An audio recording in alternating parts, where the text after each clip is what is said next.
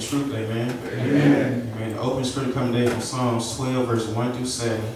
As I read, let the Spirit speak to your hearts. Help, Lord, for godly men cease, for the faithful fail from among the children of men. They speak vanity every man with his, his neighbor, with flattering lips, and with a double heart do they speak.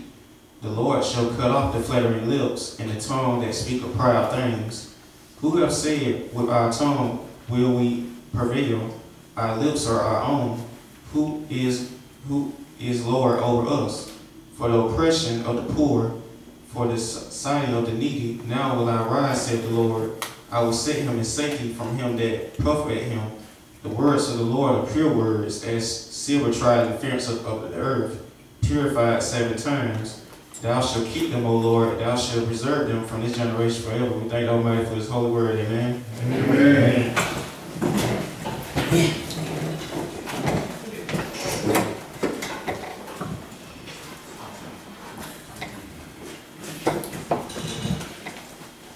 like to say happy Sabbath to everybody. Happy Sabbath. Y'all here on the Lord's Sabbath day, bringing in the truth as the Lord told us to do. First and foremost, we always like to give praise and honor to the God of Israel, of our forefathers, Abraham, Isaac, and Jacob. Today's title is going to be Jerusalem, the place where everyone will end up including Satan. Jerusalem, the place where everyone would end up, including Satan, to live.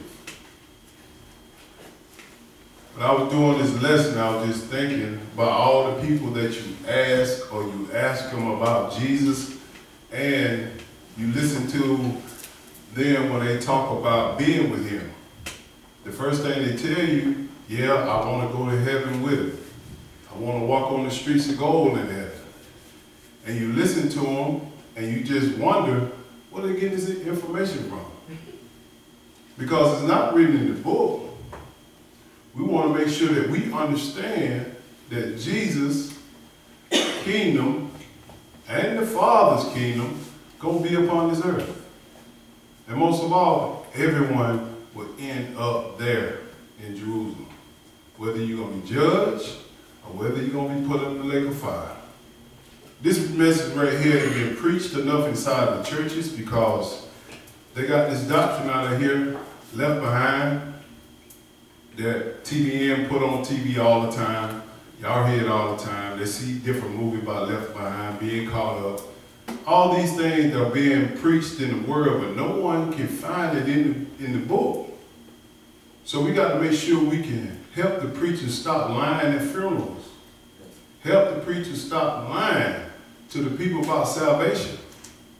And understand where you're supposed to be. And believe me, everybody need to have that knowledge of understanding where Jesus' kingdom is, which going to be in Jerusalem. Period. So we just want to make sure we clear all the air understand that Jerusalem is the place where everyone will end up, including Satan or Lucifer. Mm. He's going to be there too. It's going to be a real humdinger, whatever you want to call it. but let's turn to John chapter 8. I know some people out there say, man, this man lost his mind. I'm going to heaven. That's what they tell me. I'm going to heaven. I don't care what you say, Jeff. Going to be caught up. I said, okay, I'm gonna let Jesus tell you, then you ain't going. Since you won't listen to me, I'm gonna let him tell you. Let's turn to John chapter 8 and verse 20. Because we gotta put the kingdom on the ground. So many of us have let pastors take the kingdom off the earth. The kingdom is gonna be here. Even the Lord prayer tell us the kingdom is gonna be here. John chapter 8, we're gonna start with verse 20. Let's see where everybody will live. Let's see if we're going out beyond them. Verse 20. Go ahead, brother. These words spake Jesus in the treasury. Yes, sir. As he taught in the temple, and no man laid hands on him, for his hour was not yet come. This is what Jesus is teaching. Go ahead. Then said Jesus again unto them, I go my way, and ye shall seek me and shall die in your sins. Mm -hmm. Where I go, ye cannot come. Now the disciples, I mean the Jews were puzzled by this. He said, Where I go, you cannot come. Let's see where he's going. Go ahead. Then said the Jews, Will he kill himself? Because he said, Whether I go, ye cannot come. See, they didn't understand. A lot of prophets, I ain't gonna say a lot of prophets, but a lot of the Pharisees and Sadducees didn't understand Jesus, what he was talking about. He gonna tell us something right here. Keep going. And he said unto them, Ye are from beneath, I am from above. Ye are this world, ye are of this world. I am not of this world. Jesus said, You are from this world, which is earth. He is from above. We cannot go there, period, at all. Let's look at another testimony. Let's go to John chapter 3 and verse 11. No, they ain't gonna do it, Jeff. Okay, we're gonna find another one for you. So Jesus will tell you, you ain't going to the heavenly kingdom that's in the heavens, which we know the third heavens. John chapter 3, we're going to start with verse 11. Go ahead. Verily, verily, I say unto thee, Yes, sir. we speak that we do know, testify that we have seen, and ye receive not our witness. We speaking that we know right now. We speaking what thus says the Lord. But we ain't seen this. Go ahead. If I have told you earthly things and ye believe not, Mm-hmm. how shall ye believe if I tell you of heavenly things? We try to tell people about the heavenly things, like the kingdom's gonna come here. What it takes to get into the heavenly kingdom. They don't believe us. They tell us the law be done away with. They tell us about all this different type of stuff that the Sunday doctrine teaches. When Jesus was on the cross, he nailed the law to the cross. We don't need that to get in. We're gonna find out. Let's listen. Go ahead. 13. And no man has ascended up to heaven. Wait, wait, wait. No man? No man. Thought Elijah went to heaven. No man. I thought Enoch went to heaven. No man. If you don't understand the doctrine and understand there's three heavens that the book talks about, the first one you're standing on, the second one is in the clouds, the third one is outside of this whole solar system where Jesus and the Father and the holy angels are. Three heavens. You got to understand that when you read the book. You just can't go in the book and see heaven and okay, I'm going to heaven. They don't understand the heavenly things being taught. He said, no man hath ascended up into heaven. Come on. Go ahead. But he that came down from heaven, Yes, sir. even the Son of Man which is in heaven. That's the only one that came down and went back up. Jesus, period. Only one. So how are you going to heaven, mama? How are you going to heaven, dad? Who told you this? But we're going to find out who told you this. And he been trying to get back there. Amen. He been trying to get back there. We're going to find out. Let's go to Matthew chapter 5. Let's see something here. Let's see what real estate or property Jesus promised us. Because we understand in Israel that we are not going to heaven. We know that's our land over there in Israel, in Jerusalem. There's going to be a lot going on in Jerusalem at this time when he comes back. There's going to be a lot of spirit beings, a lot of people going to be in their land. But you have most of the people inside these churches. What are you talking about, man? I'm going to heaven. What are you talking about? Heaven wasn't created for us. Out there in the sky, it wasn't created for us. That's why we don't have oxygen. Matthew chapter 5 and verse 1. Let's see what real estate or what place did Jesus promise us and where it is. Go ahead. And seeing the multitudes, he went up into a mountain. Yes, sir. And when he was set, his disciples came unto him. And he opened his mouth and taught them, saying, Blessed are the poor in spirit, for there is the, for theirs is the kingdom of heaven. He said, Blessed are the poor in spirit. They're not talking about no angel. They're talking about your words. We poor in spirit. The words that we speaking to people is poor in this land. They done fall away from the truth. We teaching them, we telling them, about keeping the laws, keeping the statutes, keeping the dietary law, keeping all the holy day. That's part of it. We ain't got time to be dealing with that. But he said they're the ones going to inherit the kingdom. Go ahead. Blessed are they that mourn, for they shall be comforted. Yes, sir. Ain't we mourning? I'm mourning. When I see my brothers and sisters on TV being locked up, being killed, being persecuted, understand that they ain't did nothing, but I also want to take them to the ground. When you mourn for the brothers and sisters, like, man, shut up and let the man do his job. Handle your job in court. Whatever you do, just be quiet. I ain't did nothing. I ain't did nothing. I'm like, brother, just be quiet. They're my sons, my daughters, my mother, my father. Them our family. We mourn for them. Go ahead. Blessed are the meek, for they shall inherit the earth. No, inherit heaven. Earth. The meek is going to inherit the earth. That's the real estate. That's where we're going. Well, we already here. But the destination is Jerusalem. The meek shall inherit the what? Earth. Amen. Jump down to verse 12. Go ahead. Rejoice and be exceeding, exceedingly glad, Yes, sir. for great is your reward in heaven. Great is your reward in what? In heaven. In heaven. It's a reward out there in heaven that Jesus and the Father done prepared for us. But we ain't going up there to get it. It's coming back down. Go ahead. For so persecuted they the prophets which were before you. They gonna persecute. They persecute the prophet. They gonna persecute us. Always. They gonna do this to us when we tell them about you're not going to heaven. The kingdom gonna be in Jerusalem. The lake of fire is gonna be in Jerusalem. All of it. Everybody gonna end up in Jerusalem, including Satan. I'm gonna show you that. Let's go to Matthew chapter 6. Let's see what reward he's talking about that is in heaven. It's all here, man. Everything is here. But so many people so bored with this book, they won't take it and read it. But you want to get in the kingdom. Come on, man. God gonna test us off our knowledge. And what we know, we can't fake this. This is right here, we can't fake. He's looking at people and saying, do they understand the operation of God? Can I entrust them with my kingdom? But if you don't know nothing but, I believe in Jesus Christ, he died the cross for the sin. Even the devil believe that. And they tremble, they fear this. You are, most of the people don't even fear that. You gotta know more.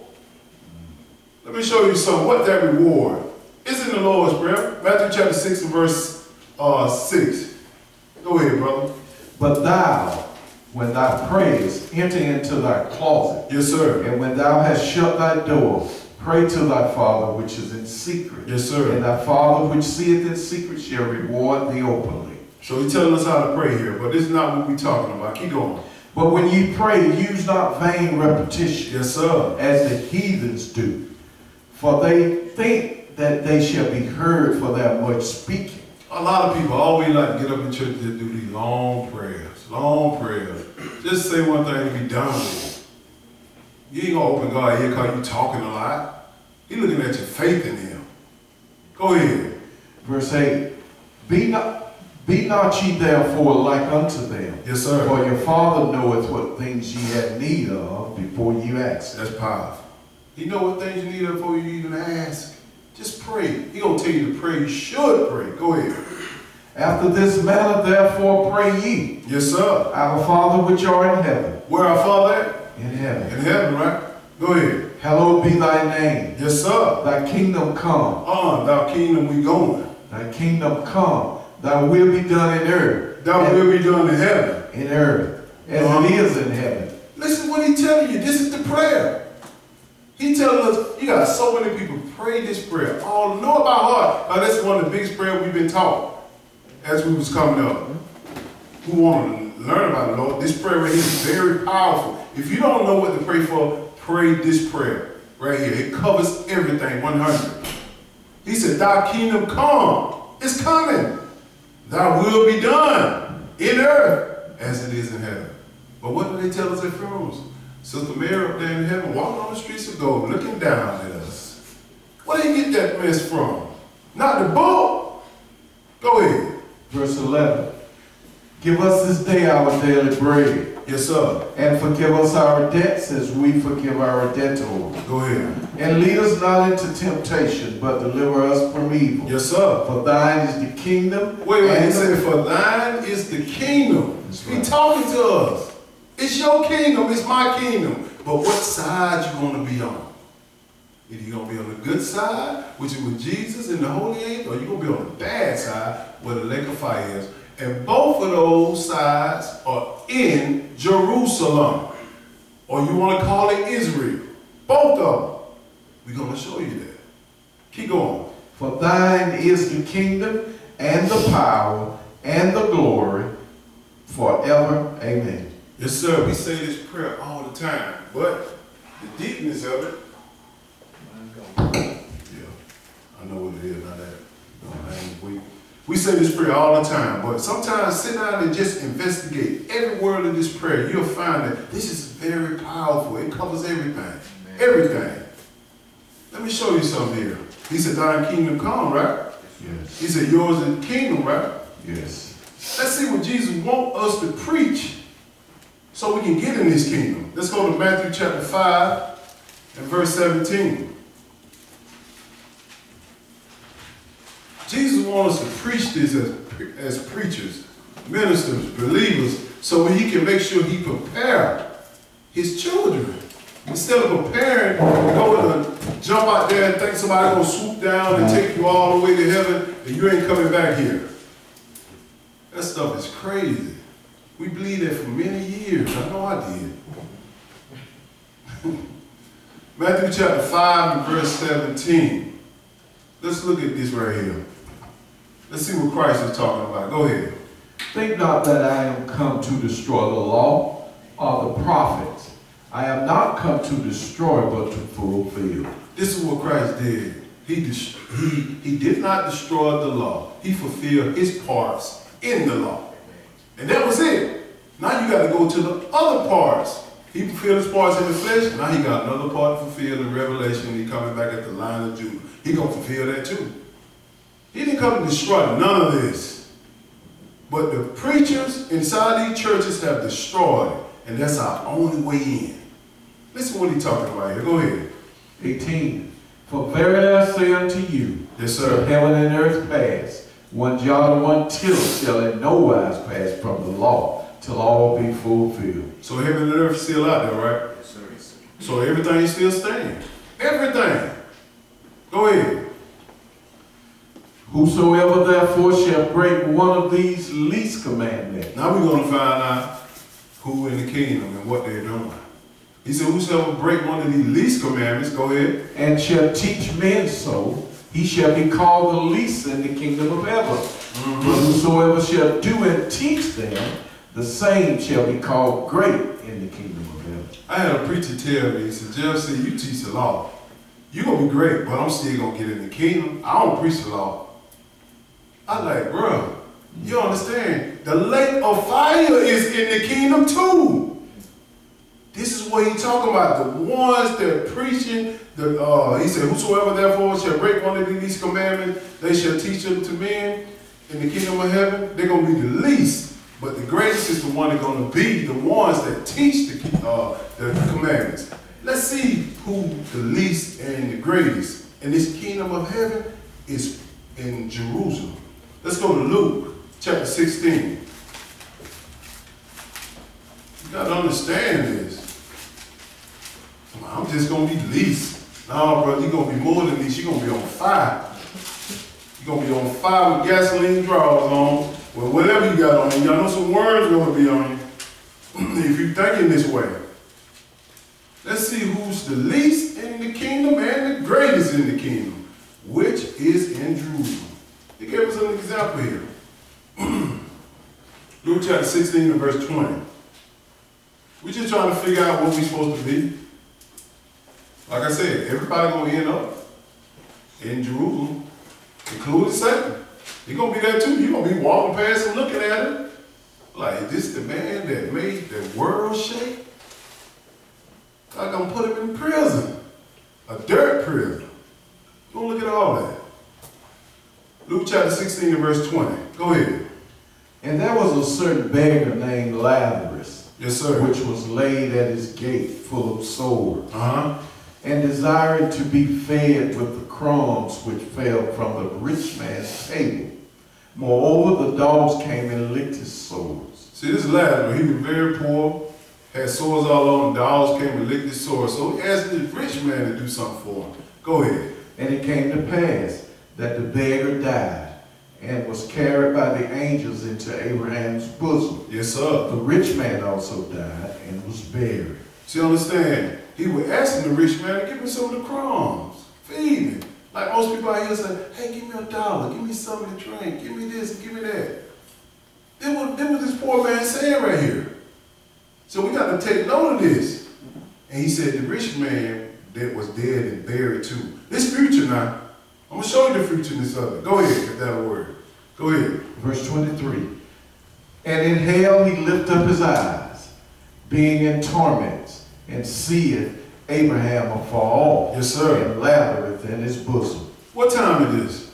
In future. Future. This is the first resurrection right here, buddy. Right here. He's showing us a future prophecy about the rich man and Lazarus. In hell, he lift up his eyes. Go ahead.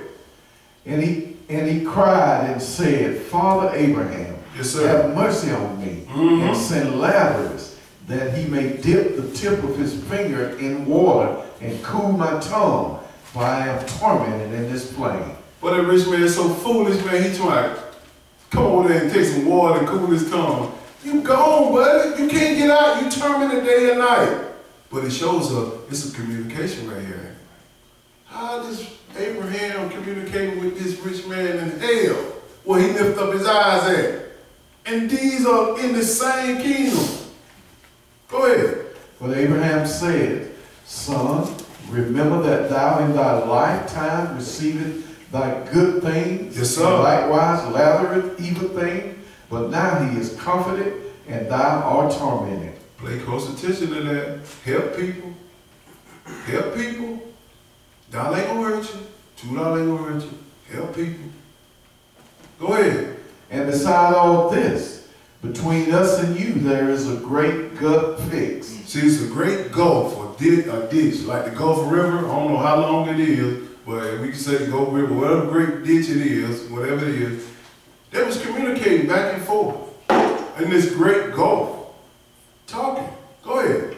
so that they which would pass from hence to you cannot, Mm-hmm. neither can they pass to us that would come, that would come from thence. He said, you can't pass over in hell, and Abraham and Lazarus can't come over, can't come over there to you. They can't go back and forth with each other, walking over there and walking back, walking on. Nah, it's a great gulf, a great ditch between them two. But all this whole place is Jerusalem. It's the kingdom of God right here. This is the kingdom of God right here. We finished with that? Yes, sir. Okay. Let's see that great gulf. And when it steps on the scene. Let's go to Isaiah chapter 66. They ain't gonna teach you this in them Sunday churches. They ain't gonna teach you none of this. So shoot, some of the Hebrews don't even know this. Thank God for my for, for the guys that taught me. Because I was puzzled about this stuff all the time. And the preachers tell me about the rich man and Lazarus. Oh, that's a parable. When the last time you, how that be a parable? You got all these references of hell and what they're doing in hell, the location and all this stuff. Ain't no parable. That's future. Isaiah chapter 66, and we'll start verse 15. Let's see what this great gulf is. And the lake of fire. It ain't in existence yet, but it's coming. It's gonna come in existence. Verse 15, go ahead. For behold, the Lord will come with fire, and with his chariots like a whirlwind, Yes, sir. to render his anger with fury and his rebuke with flames of fire. So he coming with fire. so he coming with hell too. We got to put it in the spot. Coming with fire. Go ahead. For by fire and by his sword will the Lord plead with all flesh, Yes, sir. and the slain of the Lord shall be many. Because when he kill them, after he get through killing him and, and, and uh, the judgment, he gonna